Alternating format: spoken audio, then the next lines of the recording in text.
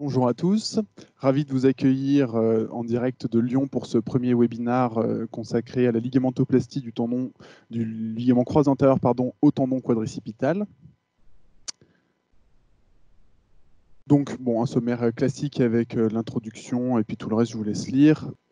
Le choix de la grève du LCA, c'est une source de débat. On en parle à chaque congrès. On n'est pas tous d'accord. On a chacun euh, un avis sur la question. Le gold standard le plus connu depuis très longtemps, ça reste euh, sur le plan mondial le KJ.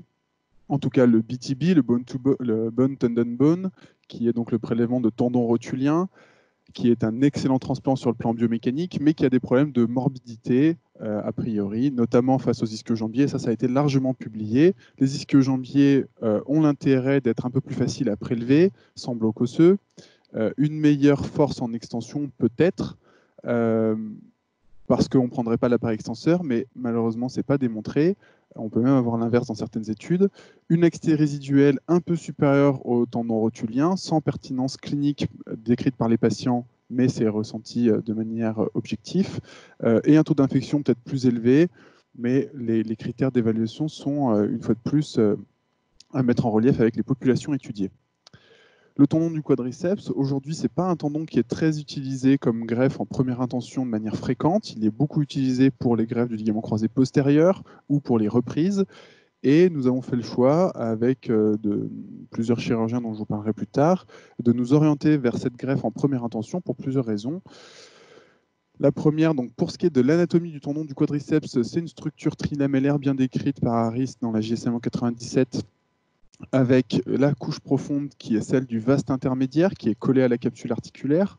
En superficie, on va avoir euh, une connexion entre les fibres du vaste médial et du vaste latéral qui font la lame intermédiaire, et ensuite une lame superficielle qui est celle du droit antérieur.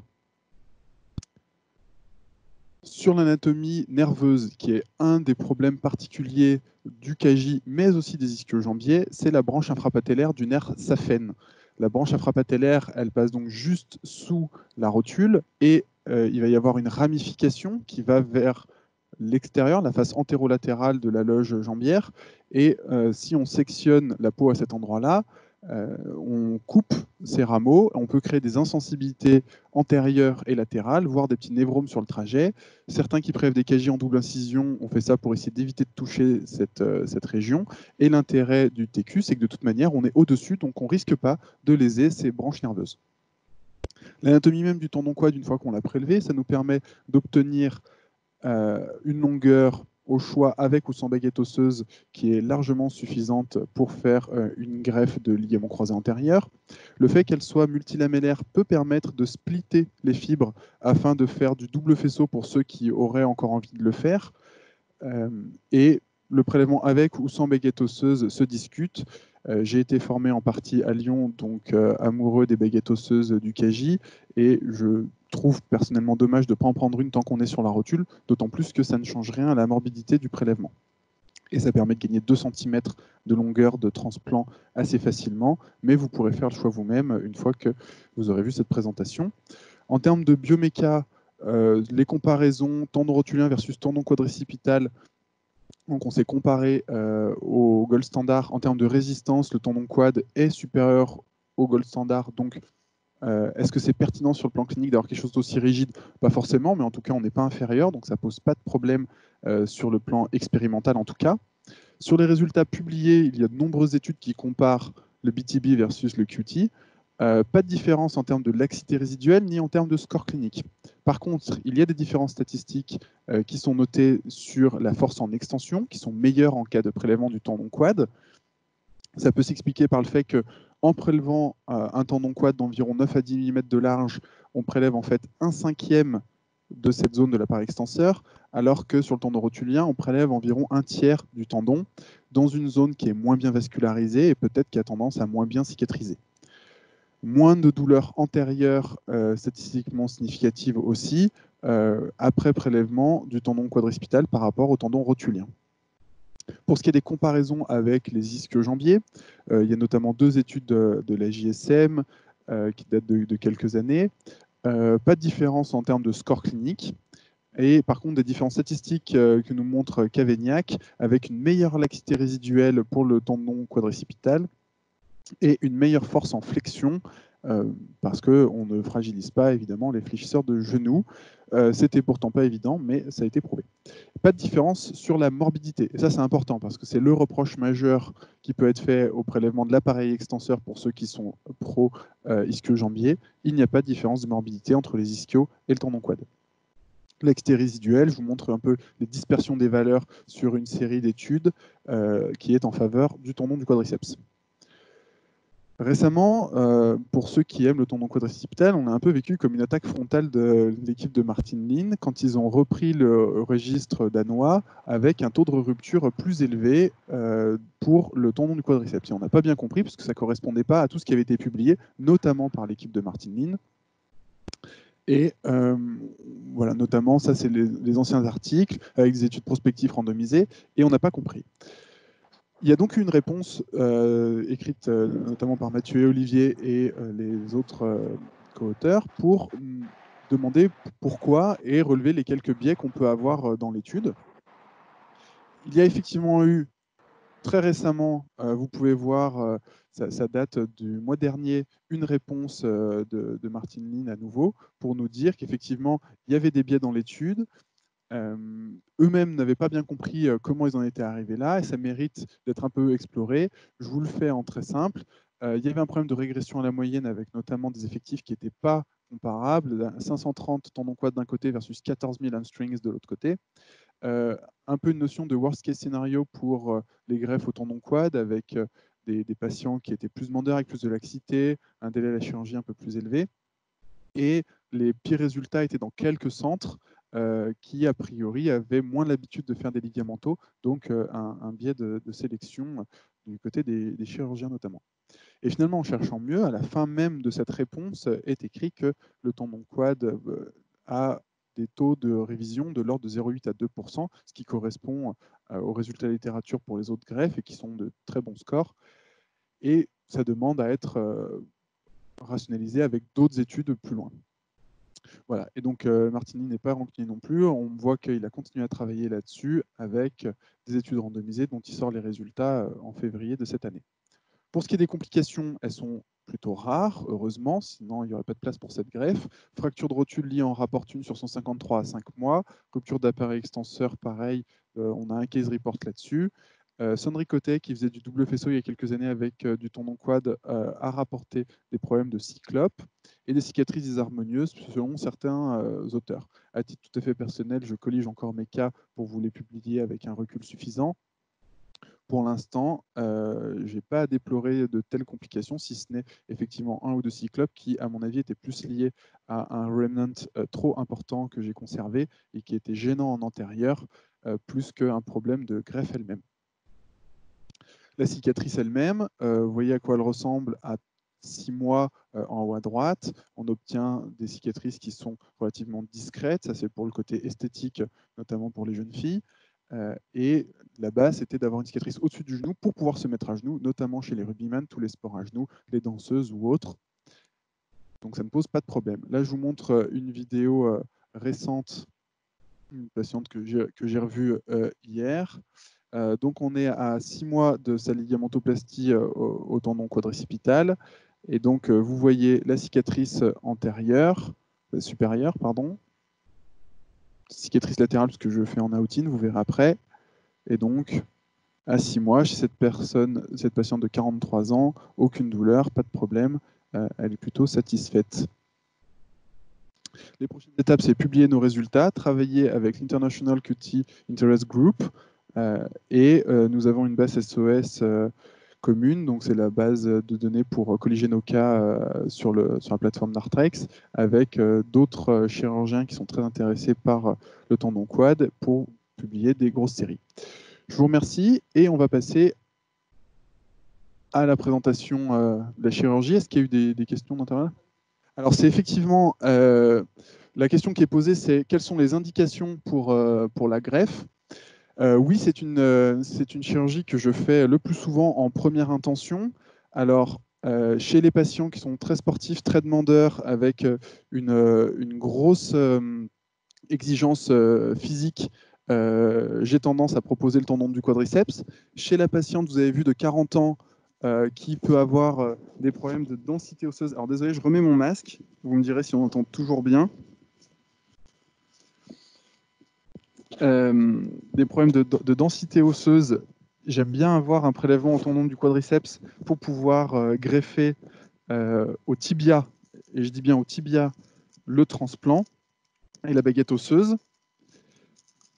Et je monte la greffe parce que vous verrez que dans les études où il y a des problèmes liés à la chirurgie au tendon du quadriceps, il y en a qui descendaient la greffe ou qui essayaient de mettre la baguette osseuse en haut en press fit, ce que je vous déconseille. Euh, et donc finalement, assez régulièrement, la, plupart de, mes chirurgies vont vers le tendon du quadriceps. Euh, je suis environ 80% d'indications en première intention. Et depuis mon installation euh, à la clinique, je pense que j'ai regardé récemment, c'est à peu près 200 procédures faites de la sorte.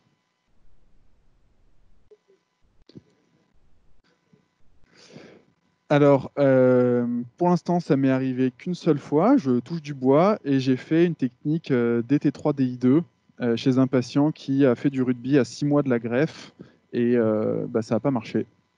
Je lui ai demandé donc j'ai fait des T3 et des 2 je lui ai fait un retour externe à ce moment-là, parce qu'une des autres questions qui pourra se poser, c'est comment est-ce qu'on fait un retour externe, et on le verra après. Donc, on va reprendre euh, la chirurgie. Donc là, on a la chance aujourd'hui d'être avec deux fellows très sympathiques, Arnaud Clémenceau et Jack Norgate, qui sont avec moi. Arnaud, si tu veux bien t'approcher et mettre euh, un doigt ici. Donc juste pour vous montrer pour préparer le terrain, pour gagner un peu de temps en arthroscopie. On a commencé, on a fait le tunnel fémoral, on n'avait plus de croisée antérieure. Ici, juste devant nous, on a les fibres du ménisco-fémoral et derrière le LCP. Et donc, on a un genou qui est tout prêt avec le tunnel tibial qui est prêt aussi. On pourra revoir l'astuce technique du tunnel tibial puisque à la base, il n'y a pas d'incision en bas pour voir comment on fait ça. Alors, on va prélever, euh, Jack, si tu veux bien mettre de la tension sur le tendon. Alors évidemment, c'est sur cadavre. Euh, on fait comme on peut en termes de tension de l'appareil extenseur, parce que d'habitude, ça nous aide beaucoup pour prélever. On voit bien la caméra. Donc j'aurais pu vous faire des petits dessins pour reprendre. Donc ma rotule, j'ai mon pôle supérieur qui est là. Voilà, je vous quadrille la rotule. Et ici, on a le relief du vaste interne. Donc pour ne pas mettre du bleu de partout, moi je fais une incision qui fait à peu près 3-4 cm au pôle supérieur de la rotule, assez proche du vaste interne, puisque c'est là où on a le plus de longueur sur le tendon. Donc on incise. Alors je vais faire un peu plus grand que d'habitude pour qu'on voit bien, parce que sinon la caméra, ça risque d'être un peu trop intimiste. Voilà. Alors, griffe-griffe. Ici,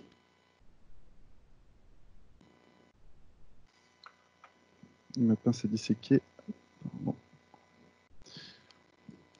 Donc ici, il faut bien aller passer tous les fascias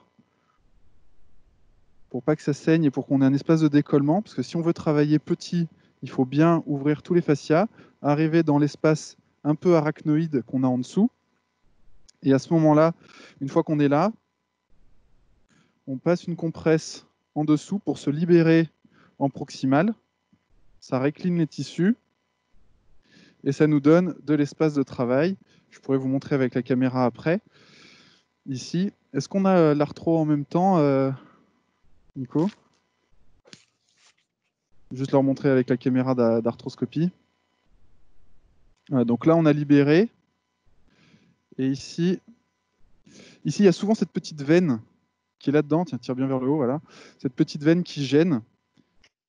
Et celle-ci, il faut la coaguler donc évidemment pas avec le bistouri froid. Voilà. Sinon, ça saignote après quand on prélève. Et après, quand on nettoie bien, vous voyez qu'en dessous, on voit apparaître le vaste interne. Et donc ici, on sait qu'on a notre paire hop, pour prélever à 1 mm ou 2 du vaste interne pour se garder un petit peu de tendon pour pouvoir le refermer après.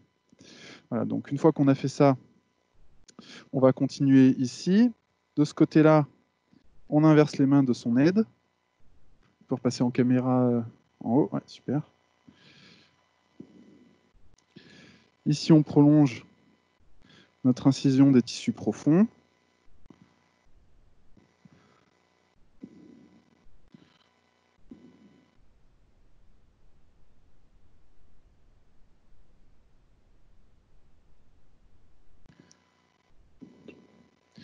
Voilà, une fois qu'on est là, est-ce que, euh, pardon, oui, on demande, est-ce que vous pouvez couper vos caméras, s'il vous plaît? Parce que du coup, il y en a, dès qu'il y a le moindre petit bruit, ça, sollicite l'écran. Il semblerait que ce soit la voiture garée à Vienne qui gêne sur le parking. Voilà, donc là, vous voyez que j'aime bien disséquer au doigt à ce moment-là, une fois qu'on est dans le tissu sous-facial, hein, jamais en sus-facial pour éviter les risques de nécrose, et en sous-facial, ça se détend assez facilement, et ça nous permet d'avoir accès à la rotule, et par une petite incision, de pouvoir travailler en fenêtre, soit plus haut en proximal vers le tendon, soit en plus distal. Donc là, j'ai mon pôle supérieur de rotule. Ensuite, avec l'aide, on repasse en proximal. Donc certains préfèrent prélever d'abord en bas.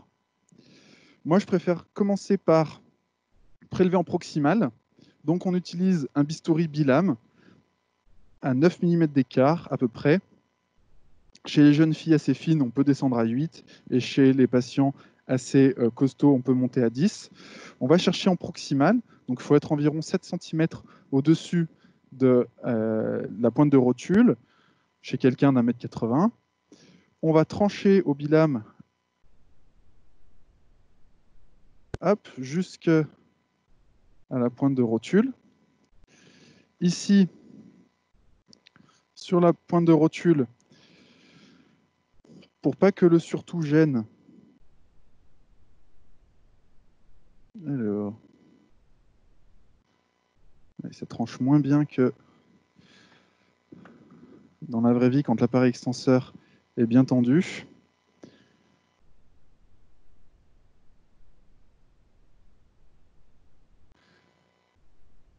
Voilà, là on marque, on coupe le surtout pré-rotulien. Donc ça, vous pouvez le faire au bistouri électrique. Ça permet à la fois de marquer jusqu'à l'os et ça permet de rétracter un peu le tissu. Tu tires bien derrière, Jack Ouais, super. Ça permet de rétracter un peu le tissu au moment où vous le coagulez, ce qui fait que ça vous laisse une réserve tissulaire qui permettra, une fois que la baguette, osseuse est enlevée, de refermer le, surtout pré-rotulien sur la rotule. Donc ici, on vérifie qu'on est une bonne baguette et on descend.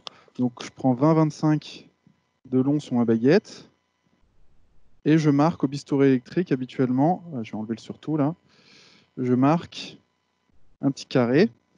Ensuite, le nez moteur, il est là. Et la broche, elle est ici. Avec une mèche de 1,5, je marque le passage de mon fil tracteur et chaque angle de ma baguette. Donc faites-le plutôt avec une mèche, ça brûle moins l'os et ça permet d'y avoir accès facilement. Ensuite, hop, la scie. Donc la lame de scie orientée à 30-45 degrés. Vous avez votre repère qui est dessiné.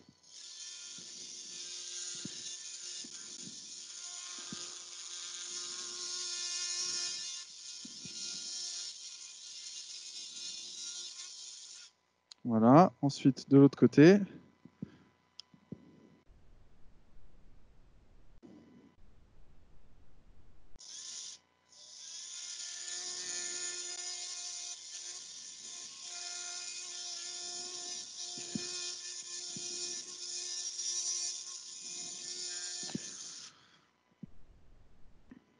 On vérifie qu'on est bien passé. J'ai souvent une deuxième lame plus petite chez moi, justement, parce que là, elle est un peu large. On peut en avoir une plus fine pour pouvoir éviter justement de faire un quadrillage en bas et profiter des,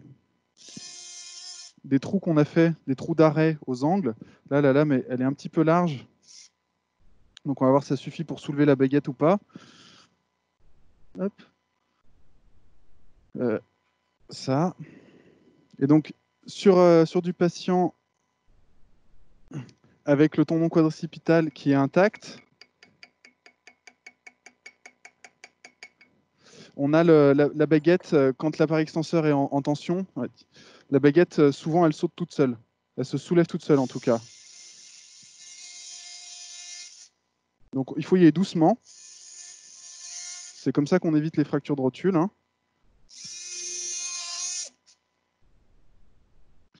Et on se méfie. On tire bien Jack derrière. Tac, et voilà. Et ça saute assez facilement, même sur du cadavre. Derrière, moi je passe tout de suite mon fil tracteur et j'utilise un fiber tape. En tout cas, un fil large et résistant. Plusieurs avantages. Déjà, il est tellement large que il ne fera pas fil à couper le beurre dans la baguette. Donc il n'y a même pas besoin de faire un 8 de chiffres euh, ou des choses comme ça pour, euh, pour tirer dessus. Un seul passage suffit. Comme on fait qu'un seul passage, on peut l'enlever à la fin de la chirurgie si besoin. Et euh, l'autre chose, c'est comme il est large, on ne risque pas de le couper avec la vis. Ça m'est jamais arrivé de couper un fiber tape avec une vis. On repositionne les aides, pas trop haut pour l'instant. Et ici, c'est le moment touchy, où en fait, là où soulève la baguette, souvent, c'est qu'on a assez de longueur.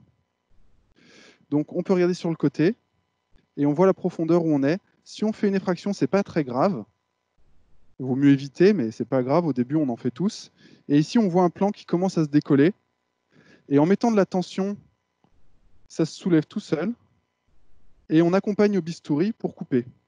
Et on vérifie tout de suite qu'on ait assez d'épaisseur mais normalement, avec le bloc osseux, quand on est descendu à un, petit, centimètre de profondeur, ça nous soulève naturellement toute l'épaisseur de l'anthèse qui va avec, sans avoir prélevé toute l'épaisseur, et donc on a encore de l'os et du tendon avec le vaste intermédiaire qui reste euh, inséré dessus. Une fois qu'on a soulevé le premier centimètre, on se dégage un peu au-dessus. Donc ici, on y va délicatement, puisque pas forcément du tissu déjà de patients qu'on aurait opéré d'un croisé. Voilà, et une fois qu'on a fait les quelques premiers centimètres, vu qu'on a tracé au-dessus avec le bilame, normalement, au doigt, on sent qu'on sépare les fibres, puisque en distal, les fibres s'enchevêtrent, donc il faut les couper mais en haut, elle commence à avoir une orientation parallèle. Donc la décision, la digitoclasie suffit. Ça évite de faire des fausses routes, ça évite de se planter en intra-articulaire, et on sent très bien ce qu'on fait. Oui? Ah, vous n'avez plus d'image. Ah, donc j'ai pas beaucoup avancé. Je te laisse tenir. Donc là, il n'y a pas lieu de le faire, mais je vous montre quand même. Je passe en extension pour relâcher un peu le tendon et pouvoir me permettre de tracter dessus. Donc par une petite incision, en passant en extension à ce moment-là, on arrive à tirer et avoir une longueur très satisfaisante de tendon. Je vais juste prendre la réglette. Hop. Donc moi j'aime bien passer une réglette et je me mets ici pour vérifier quelle longueur j'ai. Donc là, j'arrive à 9 cm assez facilement. On va tracter à nouveau. Là, les aides, soit on a un patient pas trop gras et ça suffit avec des griffes, sinon, je vous conseille de passer avec euh, des fards à bœuf. On libère en haut, on vérifie qu'on ne commence pas à s'évaser et qu'on continue à, à, être, là c'est parce que ça avait mal tranché en haut, mais avec le bilame ça ne fait pas ça on vérifie qu'on est bien toujours dans l'axe. Alors là, c'est beaucoup plus facile qu'en vrai, hein. puisqu'il n'y a pas de tension sur l'appareil extenseur. Sur des petites incisions ici, on est souvent amené à tirer euh, de manière assez convaincue. OK, donc on vérifie la longueur. Là, on va prendre large pour ne pas s'embêter, mais on obtient assez facilement. Hop, 9-10 de large. Donc là, vous ne pouvez pas le faire au bistouri comme ça sur une incision de 3-4 cm, c'est pas possible, même en tirant très fort dessus. Donc, moi, j'utilise le maillot. Je repère en dessous pour être à ras de là où j'ai décollé avec le vaste intermédiaire. Je descends ma greffe et je coupe vers le haut. Et souvent, il y a la greffe qui vient vers moi. Tac. Et donc, on obtient cette greffe qu'on va préparer juste après. Évidemment, on la remet bien soigneusement de côté. Et euh, en intra-articulaire, ensuite, il faut fermer le tendon. Euh, enfin, pardon, en extra-articulaire, on va derrière avoir notre transplant. Tu peux, les, tu peux plier. Tends l'appareil extenseur, Jack. Voilà. Là-dedans, on voit que on a une berge ici avec le vaste médial et un peu de tendon. Et de l'autre côté, l'autre berge de vaste externe. Au fond, le vaste intermédiaire que je n'ai pas prélevé. Et ensuite, on va refermer ça ensemble avec euh, un fil. Alors, vous prenez n'importe quoi. Plutôt euh, du Vicryl 2 pour être non résorbable. Là, je prends une des chutes de mon fil tracteur pour vous montrer. Et ce que je vous conseille, c'est d'aller chercher très loin en proximal tant que vous êtes en extension au début. Est-ce qu'on a un autre fil éventuellement? N'importe, ouais. On repasse en extension. Et merci.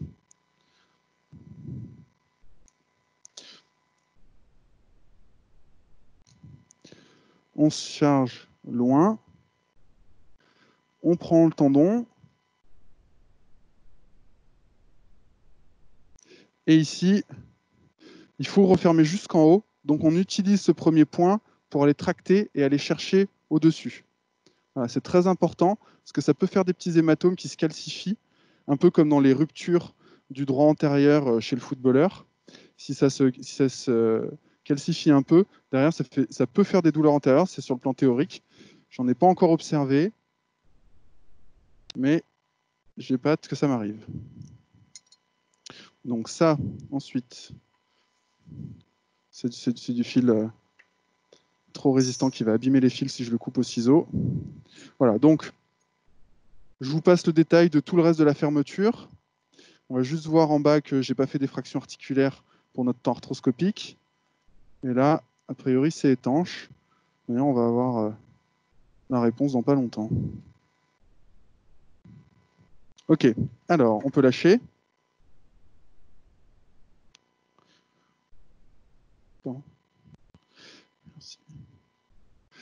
Ensuite, intra-articulaire. Donc, on est retourné dans le genou. Il n'y a pas de fuite. Donc c'est bon. Alors, on va préparer la greffe. Tu peux lâcher là-haut, Jack. Ici, je vous conseille de mettre une pince. Ah, pardon, on est repassé en caméra extérieure. On va se mettre au-dessus ici. Tiens, tiens, comme ça, d'une main. L'autre main ici. Pour le faux filage, vous êtes libre. J'aime bien le fiber loop. Tu peux lâcher cette main. Voilà, tu reprends. Qui nous permet de faire un faux filage harmonieux, puisque comme on a une structure multilamellaire qu'on veut rendre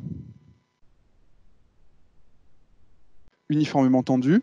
On passe au milieu et on met bien en tension. On réouvre les brins, on prend la pince, on la rend à l'aide et on recommence. Et l'astuce technique, c'est de garder de la tension à chaque fois sur les deux brins, de piquer.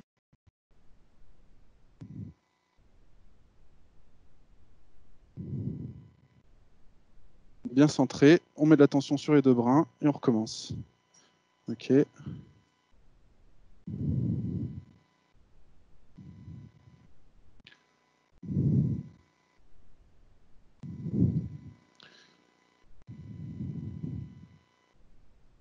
Donc certains qui n'utilisent pas de, bone plug euh, ou qui ne veulent pas fixer en fixation vis-vis, à ce moment-là, discisent le tendon et le suture à un endobouton, ou d'abord le faux fil, puis passe un endobouton de bone block qui reconstitue sur table. Vous pourrez voir la technique euh, de Mathieu Olivier euh, bientôt.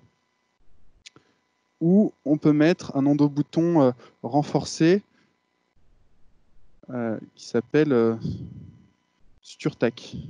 C'est ça. Hein voilà.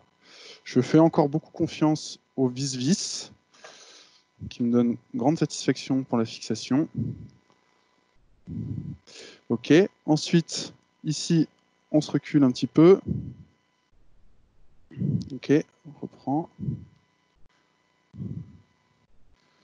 C'est important de bien pendre toutes les fibres jusqu'au bout. Je vous conseille également d'augmenter le nombre de passages quand vous arrivez au bout. Ça évite qu'il y ait des fibres qui rebiquent et qui soient gênantes.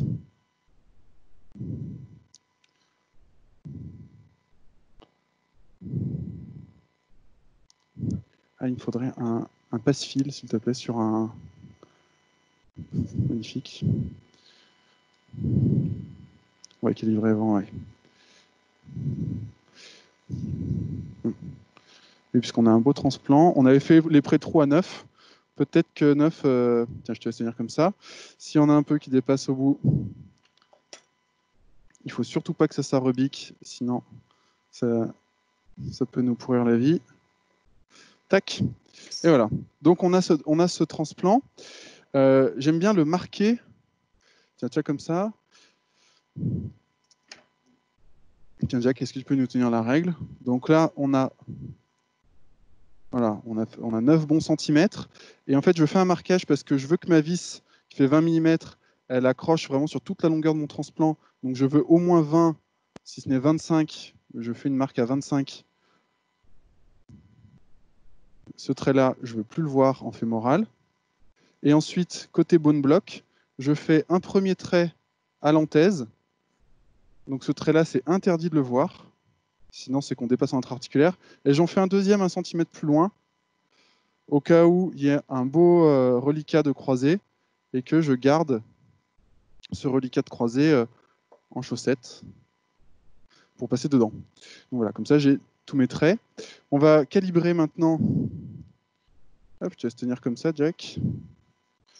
On va voir à combien il passe. Est-ce que il... Il passe à 9, la baguette osseuse et le transplant. Et on vérifie à 8 et à 8, ça passe pas. Donc on a un 9-9. C'est ce qu'on a fait comme, euh, comme trou de mèche. On garde le transplant bien précieusement. 9-9 et euh, J'utilise personnellement vis taille pour taille au fémur et une taille en dessous au tibia, sauf si je sens que la densité osseuse elle est un peu euh, limitée. Ici, tiens, je te laisse mettre un doigt dans le trou ici pour pas que ça fuite trop.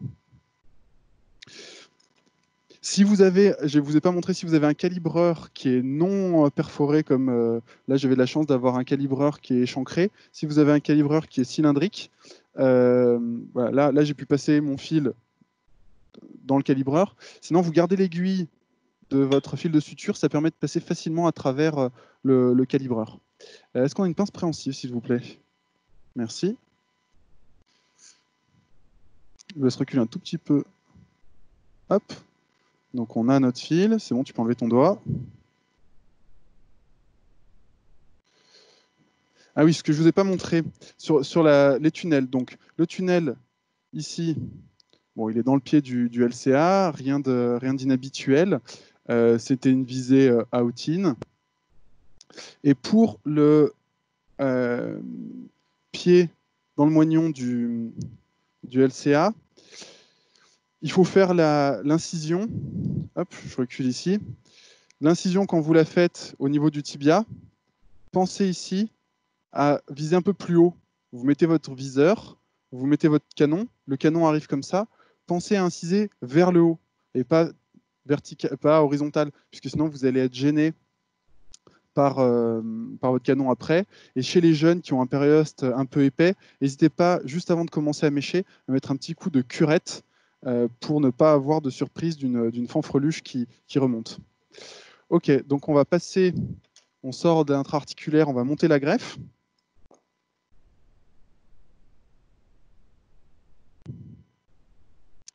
Bon, donc on remercie nos deux acolytes qui vont partir en examen, puisqu'ils sont venus, euh, Jack et Arnaud, euh, alors qu'ils ont examen dans une demi-heure. Merci les gars, bonne journée et bon courage.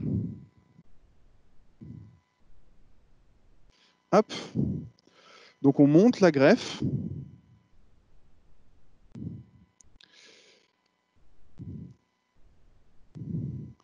Et donc, hop, bien, ce qu'on va faire, c'est que on va faire une double vue. Ici, voilà, on peut prendre le mandrin parce que le tendon quad, il est un petit peu plus résistant que les ischio-jambiers. Donc la montée, elle n'est pas tout le temps facile avec le virage au bout. Donc vas-y, tu peux tirer doucement. Ils vont. Voilà. Encore un tout petit peu. Voilà, parfait. Donc elle est montée assez facilement. Donc là, vous voyez de l'autre côté mes deux traits. Une fois qu'il sera en tension, il y aura plus de problème. Mais j'avais là, pour, la présentation, j'avais bien enlevé du OFA et bien enlevé du remnant. Donc on n'a pas, de, surprise. Là où on est bien, on peut changer de vue intra-articulaire en passant hop, derrière pour vérifier qu'on est bien tout le violet dans le tunnel. Donc là, il faut mettre un petit peu de tension sur la, grève des deux côtés. on passe par au-dessus. Hop. Donc là, j'ai mon tunnel et je suis le long de ma greffe et je vois plus de violet. Donc j'ai mon marquage qui est bon et on est au bon endroit. Donc là, on va repasser en extra-articulaire pour mettre la, la vis. Bon, rien de très particulier, si ce n'est qu'il ne faut pas qu'il y ait de blagues. Je vais te laisser tirer Yvon là-dessus. Alors, astuce pour monter, parce que des fois c'est un peu capricieux, soit il y a autour d'une euh, autour d'une compresse. Personnellement, j'aime bien prendre une boucle. Je me fais une boucle avec mes deux fils et je fais un nœud boucle. Et le nœud boucle, derrière, je passe euh, une cochère ou n'importe quelle pince dedans pour tirer dessus. Donc comme ça, j'ai les œillets pour tirer et je me cisaille pas les doigts. Parce que parfois, le tendon quad, il faut être honnête, ça peut être un peu capricieux. Parce qu'on a un gros transplant. Donc là, on a une vis de 9.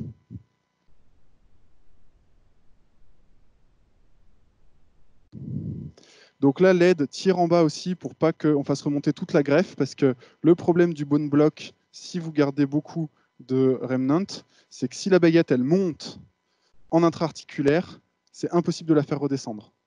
Donc il faut absolument pas que ça arrive. Donc là, tout le monde garde en tension. Voilà, là, a priori, on a une bonne tenue. Quand on a la chance d'avoir des tournevis, euh, des tournevis euh, qui sont gradués, je ne vous ai pas montré, pardon, on peut vérifier préalablement à la montée de la vis en intra-articulaire. On passe le, le tournevis dans l'articulation, on vérifie avec la caméra à quelle distance à la peau on doit être quand le tournevis affleure dans l'articulation. Et ça nous permet ensuite d'avoir un repère de vissage pour ne pas avoir à chercher longtemps pour savoir si on est bien ou pas. Ici, moi j'aime bien passer ensuite ma caméra dans le tunnel, si les tissus nous le permettent.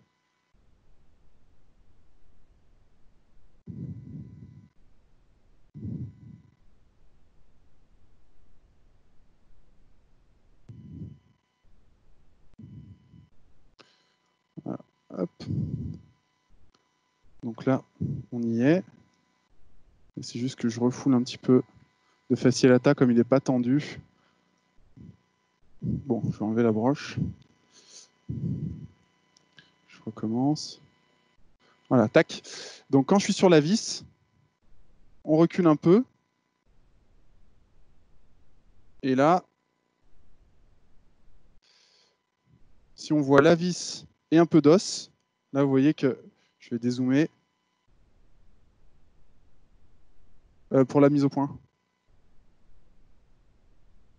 pour avoir une mise au point très proche de nous. Voilà. Si on voit la vis et l'os, et de l'autre côté la, la greffe, c'est que la vis est dans l'os et qu'elle écrase la greffe. Donc, on a une bonne tenue complète de notre transplant.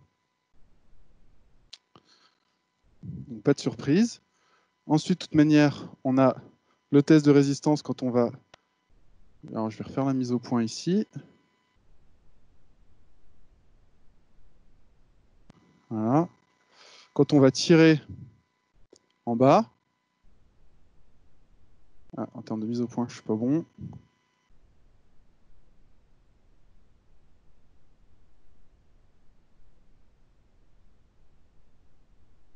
Voilà. Pardon pour les tremblements. Et là, quand on tire en bas, voilà, on voit la baguette qui redescend et ça tient solidement en haut. Je peux vous assurer que je tire fort. Ensuite, on passe en extra-articulaire. On passe notre baguette. On passe notre, euh, notre broche guide. On peut vérifier qu'on a bien notre baguette osseuse, la broche guide qui est sur le côté. Il ne faut pas qu'elle passe entre les fils de traction, sinon on peut s'embêter.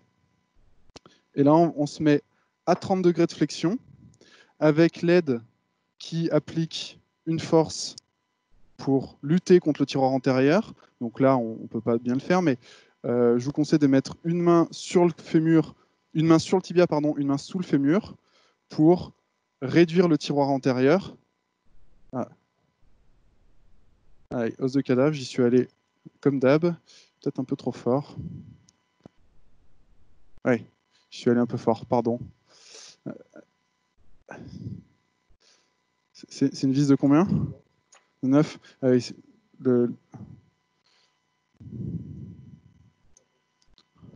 ah, C'était quand même un peu trop beau pour un premier direct. On n'est pas de, de, blague.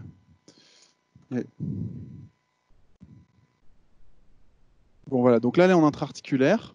Donc on va être content, ça va être facile à aller chercher.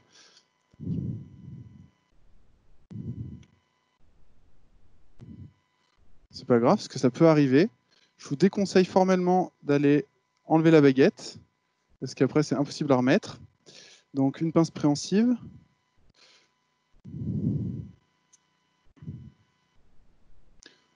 Donc si ça vous arrive,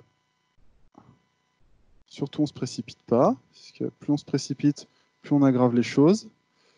On regarde le pas de vis, on attrape la vis et on la sort par l'articulation. Voilà. Donc, surtout pas s'énerver, mettre de l'eau, laver, réfléchir deux secondes, et ça repart. Donc, on mettra une plus grosse vis cette fois-ci. Et je vais y aller plus gentiment. Hop, je te laisse tenir la jambe. Je vais juste l'avancer.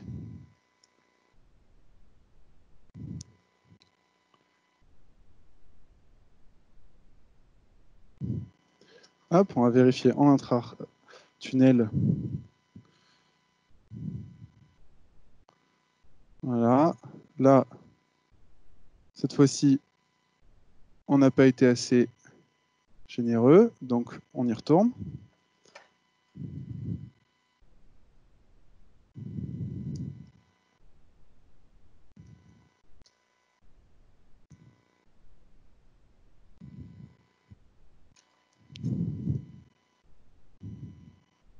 Voilà, donc c'est l'image qu'il faut voir à la fin. C'est la vis qui écrase la baguette, qui écrase le tunnel. Voilà. Et chez les patientes, je dis plutôt femmes, parce que c'est plutôt là qu'on va avoir des, problèmes de densité osseuse, euh, on n'hésite pas à mettre une double fixation. Alors là, on vérifie en intra-articulaire, donc là, je suis encore allé trop loin.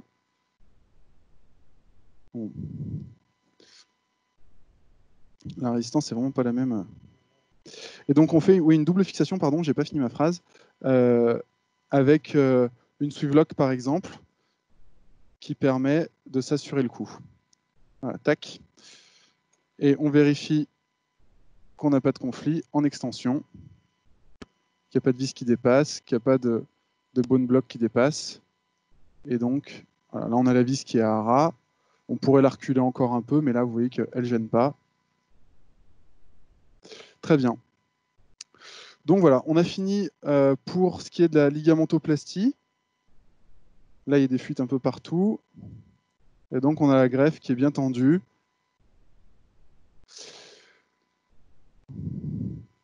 Combien Il reste 10 minutes. Alors, en lésion associée, parce que c'était à la base le programme de la chirurgie qui devait être faite euh, au labo d'Anat, à l'Arthrolab, c'était de faire aussi des lésions méniscales associées. Avant de, faire avant de voir la lésion méniscale, si on doit faire un, retour externe en même temps, justement parce que quand on va en postéro interne, on se rend compte que bon, la canule, elle n'était pas là d'origine. hein. J'ai fait la lésion tout à l'heure, qui a une, euh, une rampe lésion. Si on veut suturer la rampe lésion et ensuite faire un retour externe, euh, personnellement, je fais un, un cristal modifié en prenant euh, une bandelette de fascia lata que je vais passer sous le LLE et euh, planter euh, en position euh, d'anisométrie favorable au fémur avec une incision externe de 3-4 cm.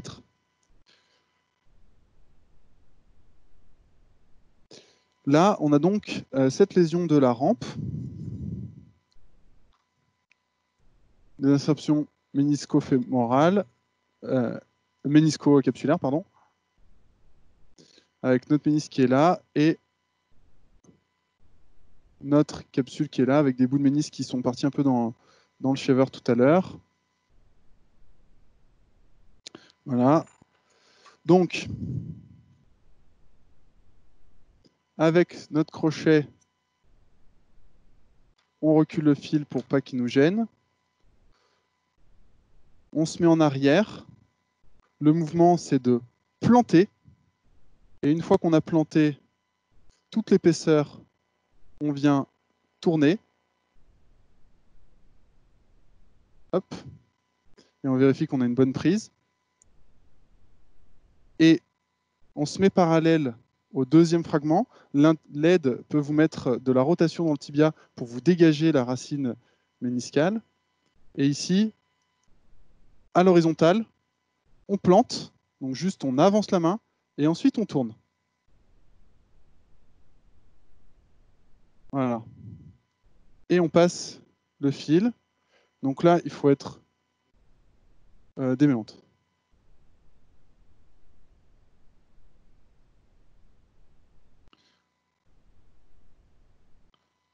J'espère que ça, ça s'est pris dans le.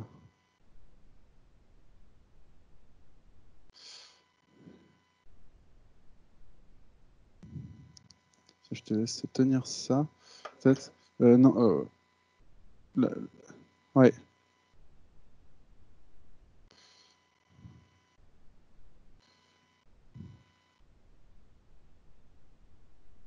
Ok, ça c'est bon. La démêlante.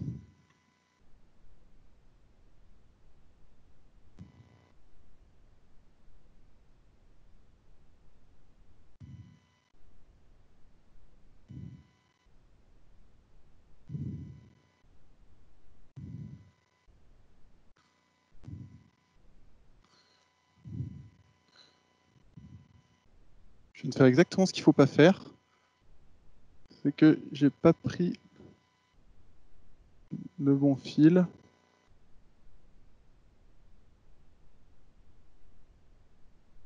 Je l'ai là. Alors, une question. Franck Chotel utilise une technique en pédiatrie avec la baguette osseuse autostable côté fémoral. Pourquoi contre-indiquez-vous la baguette côté fémoral Alors, je la contre-indique pas, hein, je n'oserais pas. C'est juste que je trouve que c'est plus difficile. En pédiatrie, il y a le problème du matériel qu'on va mettre dans les patients. Je, trouve que si on veut descendre le transplant, on ne peut pas conserver du pied du LCA. Et j'avoue que j'aime bien conserver du, du pied du LCA euh, d'après les études pour ses propriétés proprioceptives. J'aime aussi le fait que ça fasse l'étanchéité autour de la greffe. Et donc pour l'instant, j'ai pas eu à déplorer de, de kyste prétibio. Je vais faire un nœud. Donc voilà, je, personnellement, je le fais pas. Euh, sans doute que si certains le font et en sont satisfaits euh, et qui continuent, c'est que ça, ça doit fonctionner. Mais j'ai- vu des gags et dans, certaines publications où le, LCA au tendon quad euh, avait des gags, euh, c'était une des raisons pour lesquelles ils avaient des gags, c'est qu'ils essayaient de descendre le transplant. Donc là, un nœud coulissant auto-serrant. Hop. Voilà. Celui-là, en tirant que d'un côté, normalement, hop, il va descendre tout seul. Et avec l'autre main, il va se serrer. Donc, si on n'est pas sûr d'avoir bien descendu, on garde toujours le même brin tracteur. Donc ça, au début, on n'a pas forcément eu tous une formation pour ça en chirurgie du genou. Donc le mieux, c'est d'appeler les copains de l'épaule au début ou d'aller les voir faire. Et puis après, c'est de s'entraîner euh, quand même de nombreuses fois, parce que descendre des clés, quand c'est pas notre, euh, notre taf. Au début, c'est un peu la blague.